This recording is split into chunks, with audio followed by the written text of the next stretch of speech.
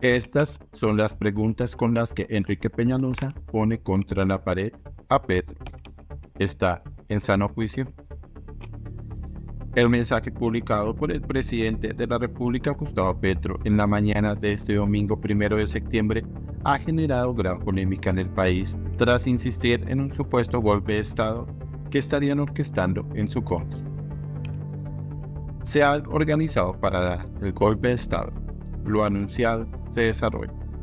Del pueblo que me eligió dependerá que el designio oligárquico se vuelva realidad o los derrotemos de nuevo. Esta no será una votación parlamentaria de nuestros enemigos para sacar. Esto será una lucha popular, escribió. Ante esto son varias las personalidades de la política nacional que han reaccionado, entre ellos el exalcalde de Bogotá, Enrique Peñalosa, quien confrontó al mandatario colombiano con una serie de preguntas sobre su publicación. ¿Quién se ha organizado? ¿Quién le quiere dar un golpe de Estado?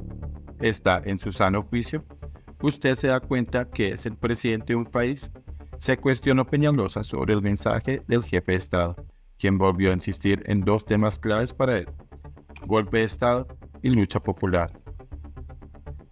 El exalcalde de Bogotá le pidió al presidente Gustavo Petro que respete a la ciudadanía, respete las instituciones y más bien trabaje. A nadie convence ni enternece con sus guayabos delirantes.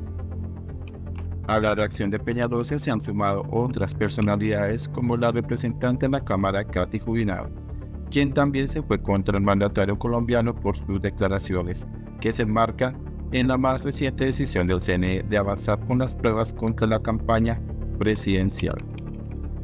Colombia tiene un sistema de pesos y contrapesos que funciona.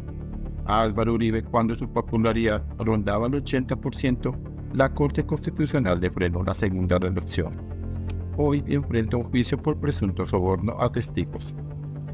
La Corte Suprema le tumbó una treintena de congresistas. Decenas de sus funcionarios fueron investigados y condenados. Señaló Ubinao. Finalmente concluyó. Y ahora resulta que Petro no lo pueden investigar porque es de izquierda, porque es del pueblo, porque pobrecito. Increíble ver hasta dónde está llegando el fanatismo y la falta de objetividad.